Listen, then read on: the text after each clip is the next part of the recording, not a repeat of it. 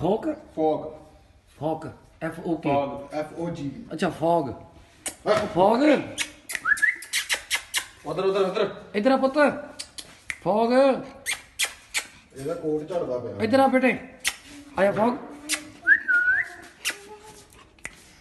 ਕਿੰਨੇ ਚਿਰ ਦਾ ਹੋ ਗਿਆ ਵੀਰੇ ਆਪਣਾ ਬਾਈ ਜੀ ਹੋ ਗਿਆ ਪੰਨੀ ਉਹਦਾ ਮੈਂ ਲੈ ਕੇ ਆਇਆ ਸੀ ਇਹਨੇ ਜੂਨ ਚ ਹੋ ਜਾਣਾ ਬਾਈ ਜੀ।